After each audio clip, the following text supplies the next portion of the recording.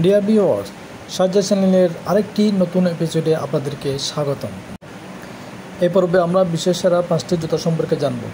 Video শুরু হওয়ার আগে আমার এই চ্যানেলে যারা নতুন সাবস্ক্রাইব করে চ্যানেলের সাথে থাকুন এবং বেল আইকনের নোটিফিকেশন অন করে রাখুন, যাতে পরবর্তী ভিডিও দেওয়ার সাথে সাথেই আপনার কাছে ভিডিওর নোটিফিকেশন পৌঁছে যায়।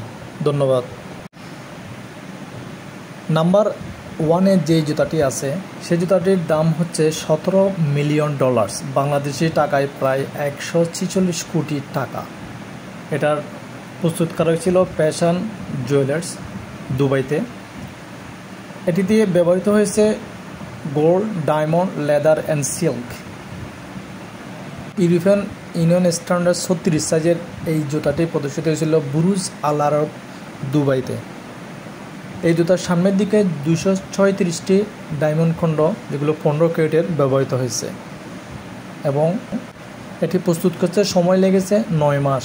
প্রস্তুতকারক আরও জানিয়েছেন ক্রেতার পছন্দ অনুযায়ী যে কোনো সাইজে তারা বানাতে সক্ষম। দুই, দেবি উইনহাম হিলস, যেটির দাম পনেরো মিলিয়ন ডলার্স। বাংলাদেশ টাকাতে প্রায় একশো তিরিশ কোটি। এটা ব্রিটেনে বানানো হয়েছিল, যেটিতে ব্যবহার হয়েছে solid gold zipper sole pink diamond gold paint leather blue diamonds leather painted ছিল চব্বিশ ক্যারেটের এবং যে সুতা ইউজ হয়েছিল, ব্যবহার করেছে, সেই সুতা ছিল আঠারো ক্যারেটের গোল্ড রেড এবং এই জুতার নামকরণ হয়েছিল ব্রিটিশ ডিজাইনার ডেবি উইংহাম নাম অনুসারে। এখনও পর্যন্ত এই জুতাটি দ্বিতীয় নম্বরের স্থানে আছে। নম্বর তিন যে জুতাটি স্থান পেয়েছে, সেটির মূল্য দশ মিলিয়ন মার্কিন ডলার। বাংলাদেশের টাকাতে প্রায় ছিয়াশি কোটি টাকা। যদিও বিষয়টা একটু মজাদার, মার্কিন প্রেসিডেন্ট জর্জ বুশ হোয়াইট হাউসে ভাষণ দেওয়ার সময় ইরাকি এক সাংবাদিক, নাম ছিল মুন্তাদার আল জাইদি। তিনি জর্জ বুশকে লক্ষ্য করে তার পরিধেয় পায়ের জুতা তার দিকে নিক্ষেপ করেছিলেন এবং সেই জুতার তখনই কিনে নেওয়া হয় দশ মিলিয়ন মার্কিন ডলারে।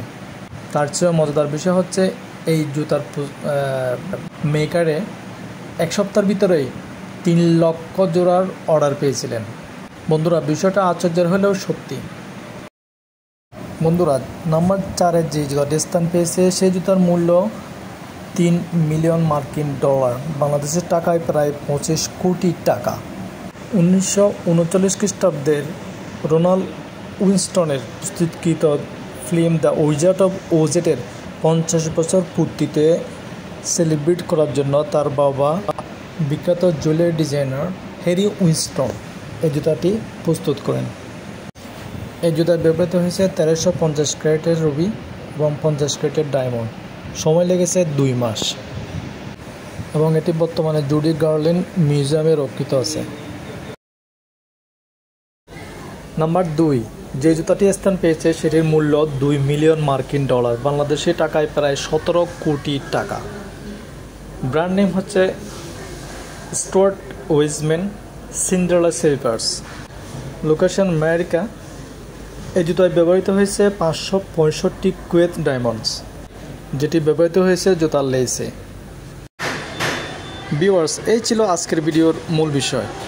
ভিডিওটি যদি ভালো লাগে, লাইক, কমেন্ট, শেয়ার করবেন। ধন্যবাদ। আগামী পর্বে দেখা হবে ইনশাআল্লাহ।